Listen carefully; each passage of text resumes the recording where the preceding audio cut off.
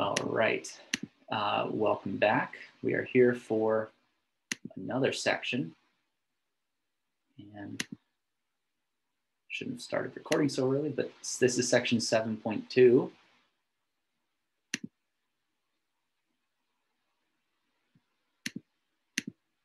And either my computer's slow or here we go. All right. Um, 7.2 is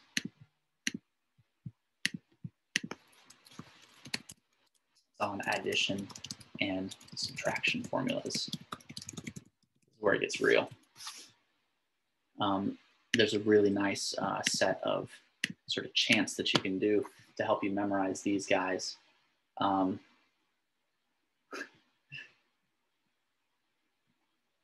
okay.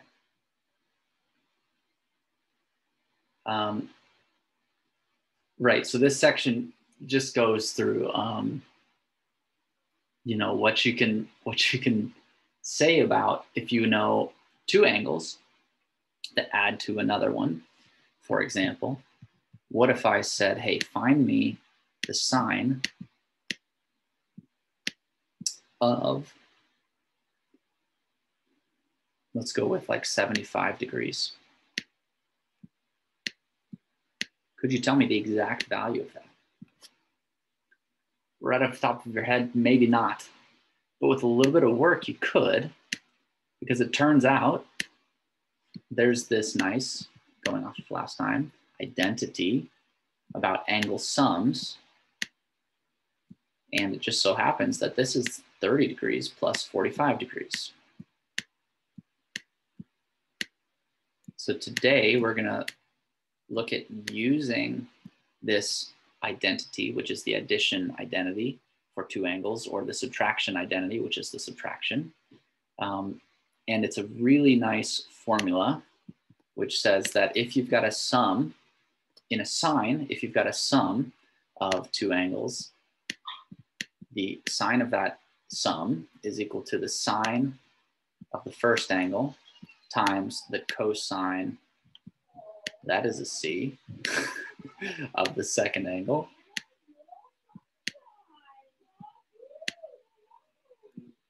Plus oh boy. Plus uh, cosine of the first angle times sine of the second angle. Sine, cosine, cosine, sine. Okay, and these things we know. Sine of 30 is one half. Cosine of 45 is root two over two. Cosine of 30 is root three over 2.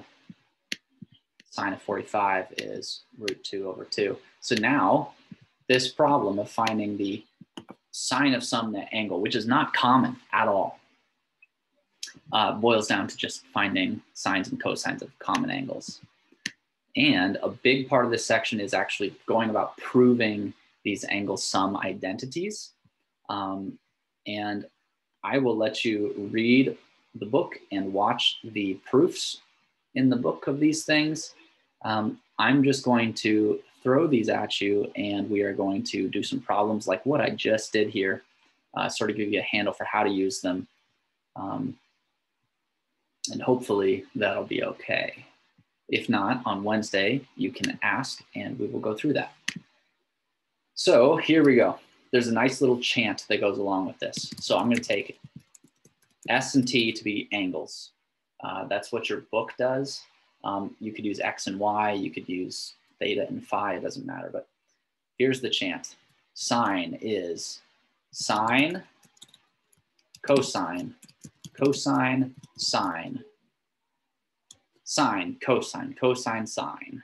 And the order of the angle stays the same. So sine of S times cosine of T plus cosine of S times sine of T. So if you keep the angles in the same order, you have this nice little, nice little uh, chant that you can say with it. And cosine is very similar. It is cosine, cosine, sine, sine, sine.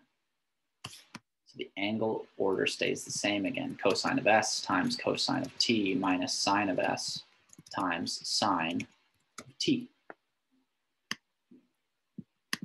So here's the total chant. This is how I, I learned them way back in the day. I like to write first, I like to write on the left this sine of s plus t, cosine of s plus t. And then I like to say what I see on the right, not the stuff on the left. And it's, it's pretty syncopated. So here we go. So sine, cosine, cosine, sine, cosine, cosine, sine, sine, sine.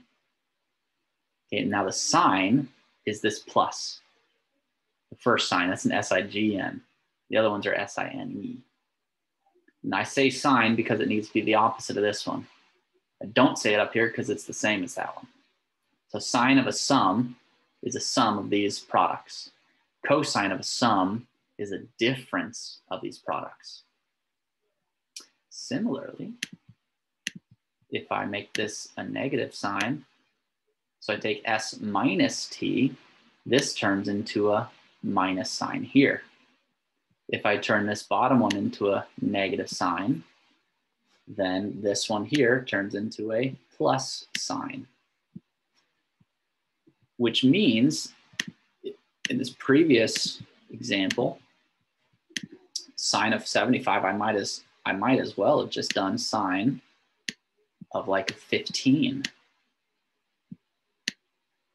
And that you could also compute using these formulas. Because what do we have here? We've got now a difference and we have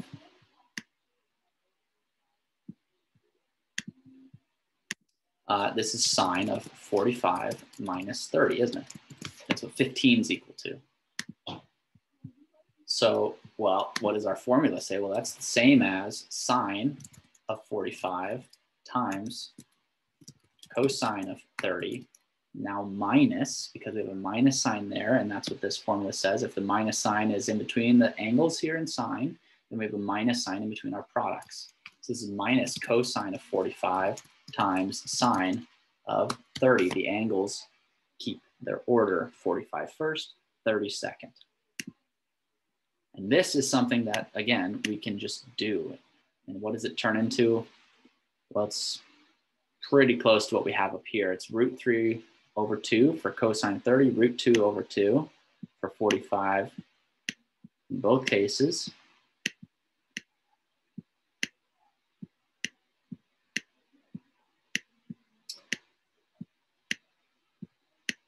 That's a 2, not a 3. And this is a 1 half. Okay, so this illustrates uh, exactly how you would use these. Um, your book lists these on all separate lines, um, sine of s plus t and then sine of s minus t. I like to use this plus and minus notation. Uh, the top signs are always paired together. The bottom signs are always paired together.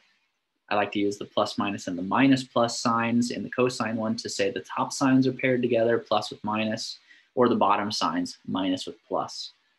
Um, it's just a bit more succinct. It takes less writing. And when I'm writing on this laptop, that makes all the difference. so the hard ones then would be the tangent formulas. Um, and, and they're less obvious. I don't have a nice little chant or cheer to say for them. Um, you use them in the exact same way. And uh, can I write these separately? Yes, I can. So I'm gonna write them I mean, individually, uh, I can write them together is what I mean. So if you have tangent of two angles added together, you can write it like this. Tangent of the first plus tangent of the second divided by one minus the product. Okay. Um, the order of the angle stays the same, just like we had before. So that doesn't change. It's the tangent of the first plus the tangent of the second over 1 minus the tangent of the first times the tangent of the second. So there's a plus sign on top. There's a minus sign here on bottom. Now, if you have a difference of angles for tangents, so tangent of s minus t, what changes? The top sign changes to a minus, and then on the bottom, it changes to a plus. So these tangent sum and tangent difference identities, you'll only ever have them with all the blue signs, so plus, plus, and minus, or you'll have it with the red signs, so the minus, the minus, and the plus. And you use them in the exact same way that we used them before. So if I said, what is tangent 75? Well, you'd say 75 is 40 and 30, it's 45 and 30. Um, and you would plug in the angles and the correct values. And then because you know those commonly known ones, uh, you won't have any problem finding them. Um, right, and th those are the exact examples actually, now that I'm looking through here, um, that your book uses. Yeah, and your book also goes into proving identities from these from these things. So it's important to note that in the previous uh, in the previous um, section where we are proving that the left-hand side of some trig expression is equal to some right-hand side trig expression. These are now tools in your toolbox. And they are complicated tools in your toolbox, but you can use them. And they are uh, they're really, really handy for that. So let me write them out.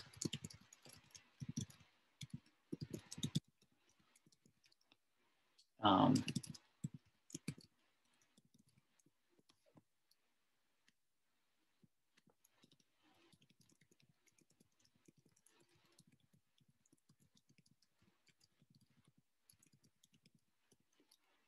um, they're really nice tools for, for simplifying certain things down.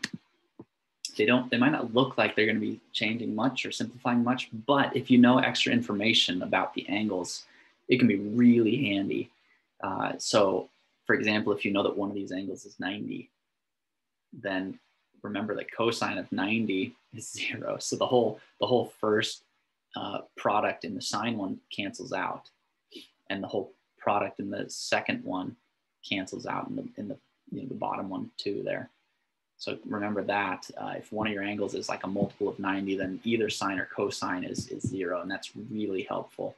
Uh, and if you remember the cofunction identities, sine and cosine, they're shifts of 90 degrees of each other. So if you're working with simplifying something that has like a 90 minus in it, you're working with cofunction identities, well, these, these will greatly simplify things. Other things to note would be what if these two angles are the exact same? right? What if you have sine of 2 times some angle?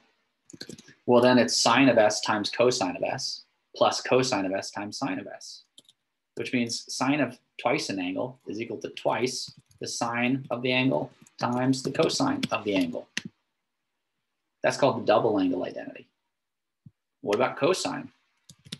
Cosine of twice some angle. Well, then we have cosine of the angle times cosine, that's cosine squared, right? Minus sine s times cosine s, that's sine squared.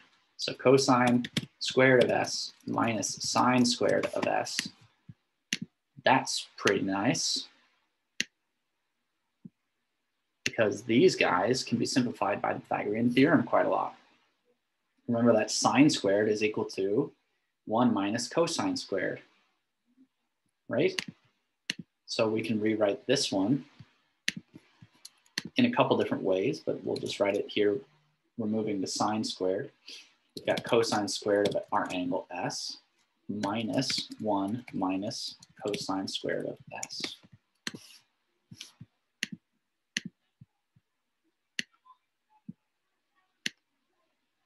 Okay, if you distribute now the, the negative sign, what does that give you? It gives you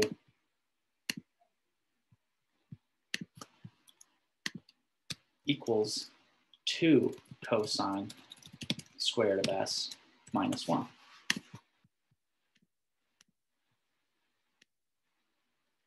Okay, so cosine of twice an angle is equal to twice the square of the cosine of that angle minus 1.